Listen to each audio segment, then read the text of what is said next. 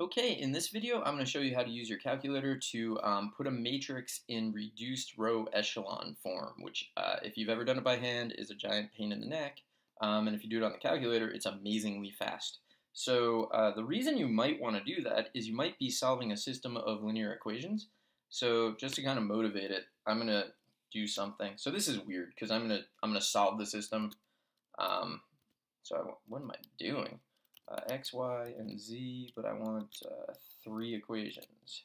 Okay, so I want three equations. The variables are x, y, and z. So I'm just going to put in a system. So 2x plus 3y plus z equals 5. And then, I mean, if I can just do this on the calculator, it doesn't really make sense to then go through and use matrices, except you'll see it's a lot faster to type. Um, I don't know. Uh, go with 5x minus 3y plus z equals 2. Okay, so I want to solve this for x, y, and z.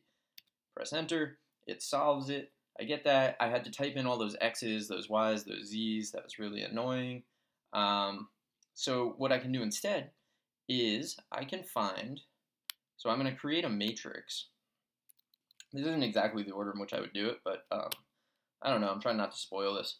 So my matrix is going to need to have, can I move this? I can, sort of. Uh, it needs to have three rows, so that's one for each equation, kind of. And then it needs to have four columns, so one column for each of the variables and one for the constant terms. So I need three rows and I need four columns. Okay, so now I just type in those coefficients. So 2, 3, 1, 5, 4. I'm pressing tab in between to make this quicker. 1, but you can just use the arrows if you want. Negative 3, 1, and 2. Okay, so I entered this matrix. And now what I want to do is put this matrix in reduced row echelon form. So what I'm going to do, I'm going to go to option 7. And then uh, here is option 5 is reduced row echelon form. And I want to, now I need to tell it to use the matrix. So I can either just uh, go with the answer here. I can press control and then the, the negative sign will get me answer, or I can arrow up and paste it down.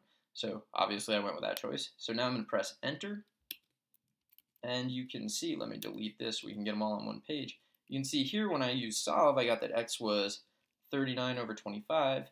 Here I got in the first row, I have a 1 for x, so x is, and then I have 39 over 25. Um, I got 32 over 25 for y here, in the second row, which uh, second column rather, uh, I don't know if I said row or column here. I should have said column. Uh, in the second column here, I have a 1 in the y column, and then that's going to be 32 over 25. And then if I scroll down, I'm definitely going to have a 1 in the z column, and I'm also going to see negative 49 over 25.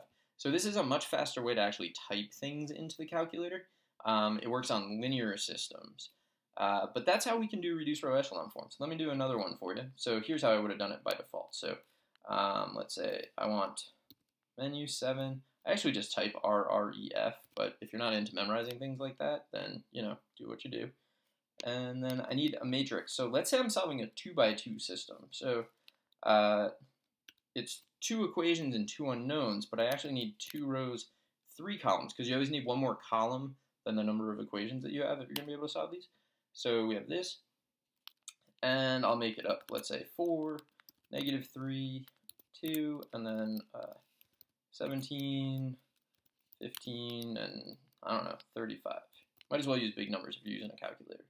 Okay, so this is equivalent to the system 4x minus 3y equals 2, and 17x plus 15y equals 35. So I'm going to press enter, and it's telling me that x value the x value is 45 over 37, and the y value is 106 over 111.